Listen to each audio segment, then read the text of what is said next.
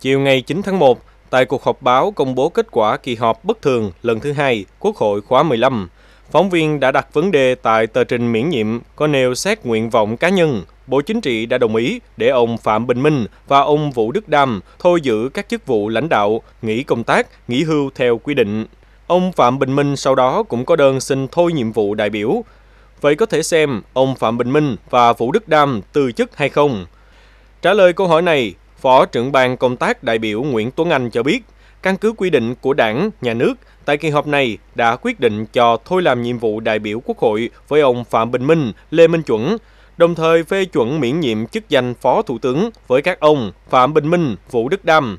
Các quy trình đều được thực hiện theo đúng quy định của pháp luật.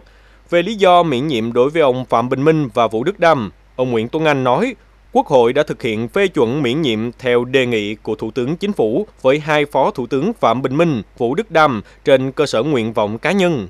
Nội dung này đã được cơ quan có thẩm quyền xem xét, cân nhắc, thận trọng và tính toán nhiều mặt.